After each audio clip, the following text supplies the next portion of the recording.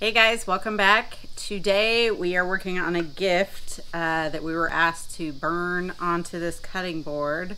It's a handwritten family recipe and a couple of flowers that mean something between the grandparents and the granddaughter. So we will walk you through getting the recipe into Lightburn and we'll burn it.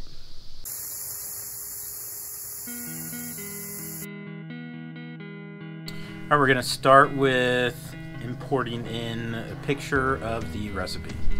It's handwritten, um, so you just want to get as much contrast as you can in the picture uh, between the writing and the white background. Just shrink it down to a usable size and um, trace it.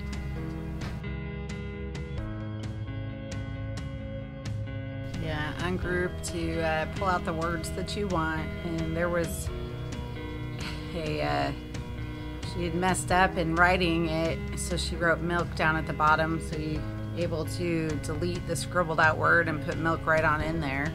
Just delete all this extra little stuff that came through in the photo after the tracing. And then what I like to do is to regroup it. Uh, that way I can move it all at once and easy to put where we want it without having to accidentally not get everything at once.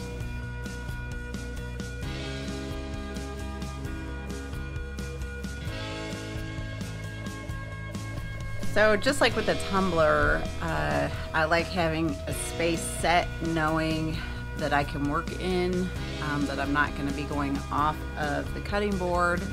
So I measured it and set the circle up for me to put the design in. Yeah, so the diameter, we 10 inches was perfect for where we wanted it on the cutting board. So that's 250 millimeters. Uh, threw a circle in, made it that size, throw it in there, and then let Erin size everything where she wants it.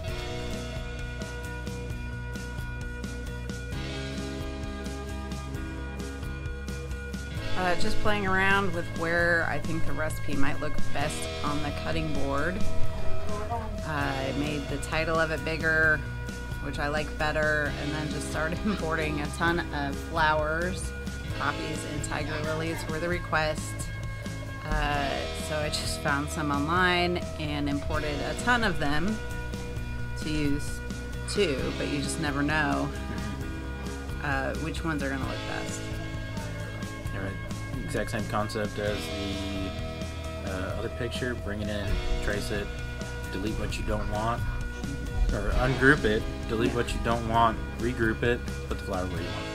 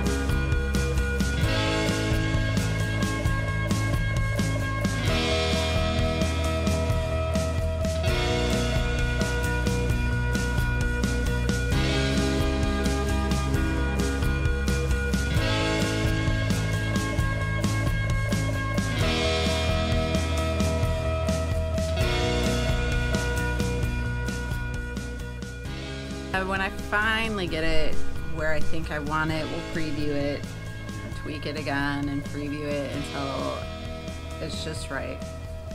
Yeah, and Lightburn's awesome as far as being able to move stuff and tweak it, rotate it. Um, see rotating that flower right there so that get it in the perfect position. Um, get the title big at the top. Preview what it looks like. We now have it exactly where we want it. So our next step is going to be setting up the actual burn speed percentage. Um, and on this one, we're going to do it a little bit different. We just did the regular fill where it goes back and forth uh, the whole time. It was going to be about a two-hour cut. Um, I didn't want to take that long. Uh, so did a little bit of reading and it looks like the fill offset is actually what we're going to try on this one. Um, it's neat because it actually works a little bit more in line with how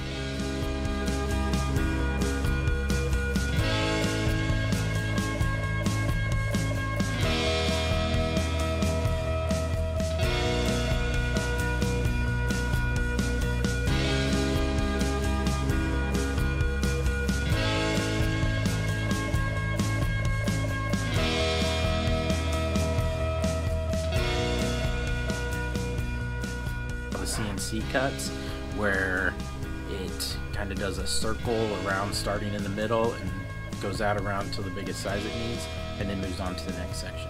And it jumps all around crazy. I don't know how it does the toolpath thing, but it jumps all around crazy just like the CNC does. But it saves time and drops us down to 20 minutes instead of two hours. Huge, huge time saver. Very worth it. So we wanted to test that out. And here you can see the preview playthrough of how it's actually going to cut it. Uh, we got it sitting at 3000 speed and 70%. Did a test cut and it actually stopped in the middle of the cut. So I got in Lightburn, took a look at the console, and you see here that we've got a shock and movement detection that actually shut down the laser. It stops it cold. Uh, when this happens, I just had to stop the whole process, start over, and it starts to burn from the beginning so there's no way to pick it back up. No way I could figure out to pick it back up uh, from where it was at. So I did a little bit of reading and figured out that it is the um, shock error in the Orturs are set to a low number, and you can actually raise them uh, just within the settings here in Lightburn. So what we do is down in the console, you hit the money, money, and enter, and then you go down to the money symbol 33 line. Right now you can see it's here on 400. That's what I've changed it to. It's stock at like 250. So this changes up the threshold so that it won't shut off as fast. So now that we've got that figured out, I've changed that setting. Uh, we'll get back out on the laser and get the cutting board done.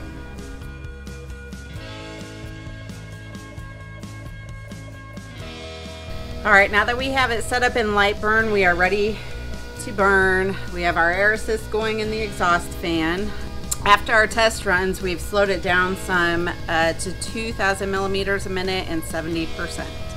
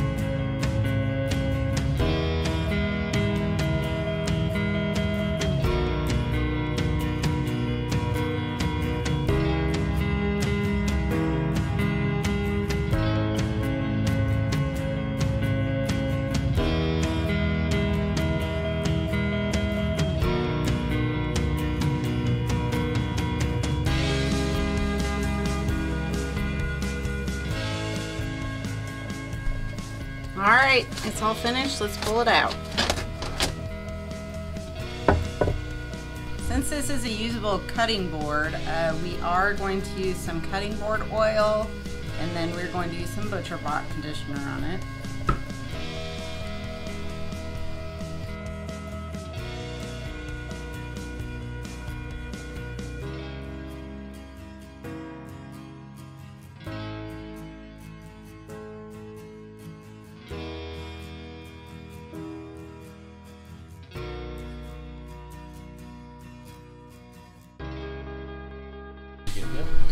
All right, we got two to three coats of the oil to put on front and back, and then we'll do about two coats of the Butcher Block conditioner before it's finished. Here is the end product. Uh, the settings work great, uh, came out perfectly. Uh, so we'll see you next time. Remember to like and subscribe.